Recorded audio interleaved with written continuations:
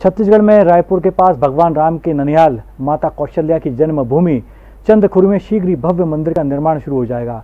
मुख्यमंत्री भूपेश बघेल ने परिवार के सदस्यों के साथ चंदखुरी पहुंचकर माता कौशल्या के प्राचीन मंदिर में पूजा अर्चना की और प्रदेश की खुशहाली और समृद्धि की कामना की। मुख्यमंत्री ने कहा कि मंदिर के भव्य निर्माण के दौरान मंदिर के मूल स्वरूप को यथावत रखा जाएगा। छत्तीसगढ़ सरकार राम वन गमन पथ पर पड़ने वाले महत्वपूर्ण स्थानों को पर्यटन स्थल के रूप में विकसित कर रही है। इसकी शुरुआत चंद्रखुरी स्थित माता कौशल्या के मंदिर से कर दी गई है। यहाँ पूजा पाठ के लिए पहुँचे मुख्यमंत्री भूपेश बघेल ने कहा है कि छत्तीसगढ़ भगवान राम का ननिहाल है। यहाँ कण कण में भगवान राम बसे हुए हैं। भगवान राम ने वनवास का बहुत सा समय यहाँ व्यतीत किया है। छत्तीसगढ़ सरकार भगवान राम के वन गमन मार्ग को पर्यटन परिपथ के रूप में विकसित कर रही है ताकि इन स्थानों को राष्ट्रीय और अंतर्राष्ट्रीय स्तर पर ख्याति मिल सके। बघेल ने कहा कि चंद्रखुरी में 15 करोड़ की लागत से सौंदर्यकरण का कार्य कराया जाएगा। रायपुर से बहुत ही नज़दीक में चंदखुरी ग्राम में माता कौशल्या के बहुत ही दर्शनीय मंदिर, बहुत प्राचीन मंदिर है और भगवान राम के ननिहाल के रूप में हम सब जानते हैं।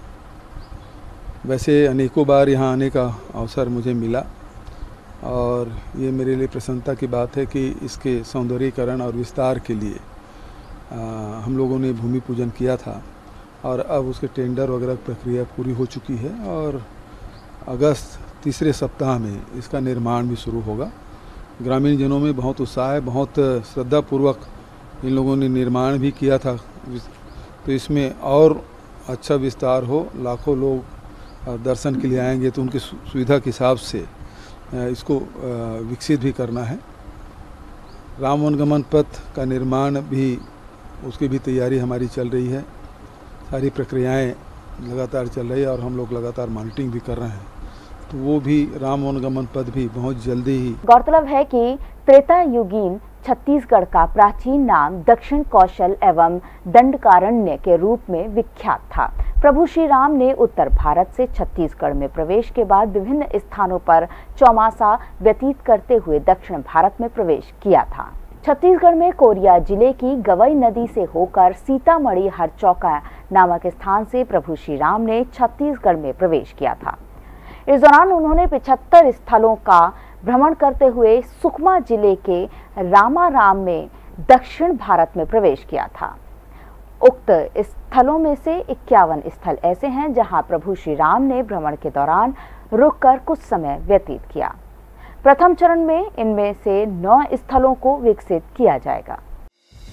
संगीत की स्वर लहरियों से सांस्कृतिक ताने बाने तक चंबल के पीड़ों से नक्सलवादियों के गढ़ तक झोपड़ी से महलों तक ठेलों से मेलों तक पगडंडियों से सड़कों तक गाँव से शहरों तक व्यापार से उद्योगों तक। राजनीति से कूटनीति तक। दखन न्यूज़। आपके हक